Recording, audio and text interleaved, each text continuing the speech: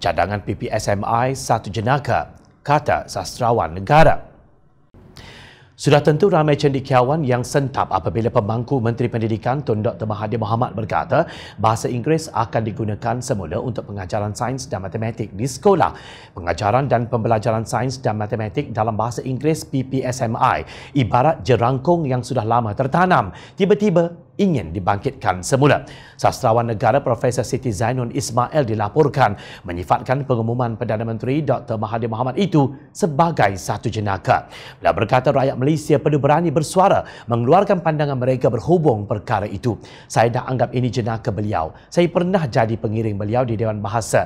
Dia pernah komen, dia kata malu datang Dewan Bahasa kerana bahasa Melayu saya bahasa kampung. Maksudnya bahasa daerah itu menjadikan dia rasa tergugat. Bahasa daerah teruskan orang Kelantan dengan dialeknya. Tapi bahasa formal gunakan bahasa rasmi dalam pembelajaran. Jangan gusar, biarkan dia keluarkan pandangan. Dia sudah usia 90 tahun. Tetapi tidak mengapa, kita kena berani bersuara. Katanya kepada pemberita selepas menghadiri sidang media, gerakan mansuhkan PPSMI di Sekretariat ABIM Pusat di Kuala Lumpur baru-baru ini kajian yang melibatkan tujuh universiti awam yang dijalankan antara Jun hingga Disember tahun 2008 oleh Permuafakatan Badan Ilmiah Nasional atau Pembina mendapati PPSMI hanya berjaya meningkatkan 4% penguasaan bahasa Inggeris dan sebaliknya mengurangkan minat untuk mempelajari dua subjek berkenaan.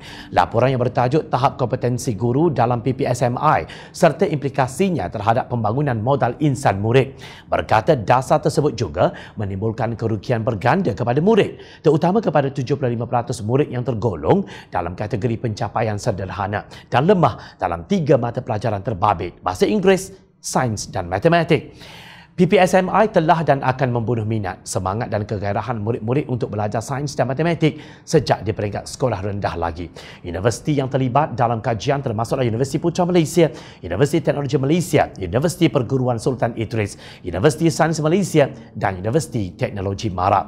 Pengurusi Eksekutif Pembina Datuk Abdul Rauf Husin yang menaungi kajian itu mengesahkan kajian tersebut kepada Malaysia kini dan dikeluarkan pada Mac 2009. Sudah tentu kita setuju bahawa penggunaan dan penguasaan bahasa Inggeris dalam sistem pendidikan perlu terus digalakkan. Ini kerana penguasaan bahasa Inggeris sangat penting dalam alam pekerjaan dan persaingan perniagaan.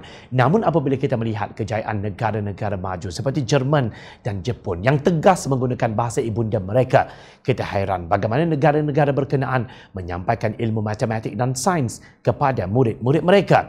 Sedangkan kita tahu kedua negara tersebut pernah hancur setelah kalah dalam peperangan dunia kedua. Namun kedua-dua negara bangkit semula menerusi identiti nasional yang dibanggakan penduduknya. Bagaimana dengan kita? Inilah yang harus dikaji oleh Kementerian Pendidikan. That we must give time uh, for learning English, in particular in the learning of science and mathematics. Geography and history can come in any language, but science and mathematics there's not is not an indigenous uh, field of knowledge. Perubahan dalam penyampaian pembelajaran matematik dan sains ini tidak boleh dibandingkan dengan perubahan memakai kasut hitam daripada kasut putih. Marilah kita tumpukan perhatian kepada memenuhi janji di dalam manifesto Pakatan Harapan pada pilihan raya umum ke-14 yang lalu. PPSMI tidak masuk dalam janji manifesto itu. Rakyat memerhati.